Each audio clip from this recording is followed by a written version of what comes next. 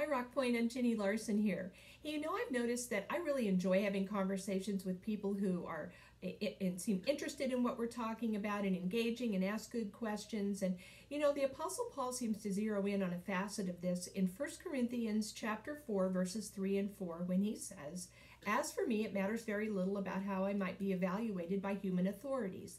I don't even trust my own judgment on this point. My conscience is clear, but that doesn't prove I'm right. It is the Lord Himself who will evaluate me and decide. Well, what does that have to do with being a good conversationalist or caring about other people? Well, the Apostle Paul seems to know that most of us don't have any trouble all day long getting caught in a performance trap where we're asking ourselves questions like, How do I sound? How do I look? Am I coming across well? Do other people like me?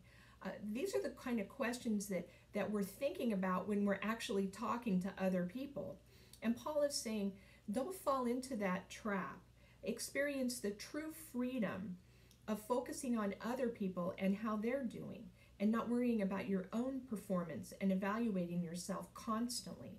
What Paul is saying here is you don't need to have high self esteem thinking about yourself so much and thinking so highly of yourself. You don't need to have low self esteem, thinking less of yourself. What we all need is to just think about ourselves a whole lot less, a whole lot less often.